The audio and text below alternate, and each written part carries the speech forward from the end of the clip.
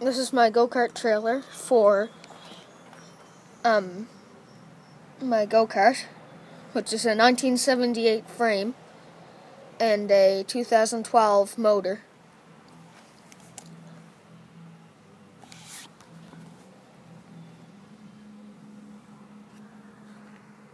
All the materials were free.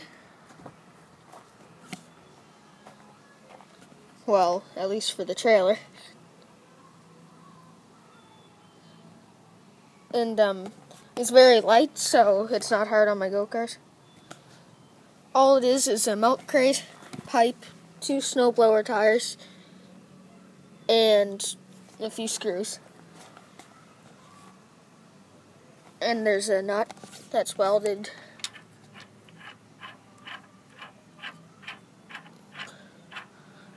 onto the frame.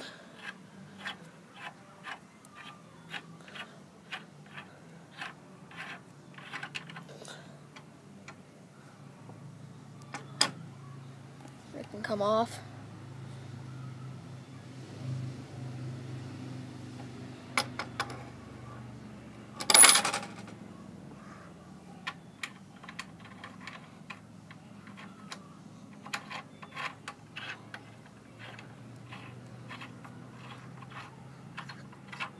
There's a few welds in it.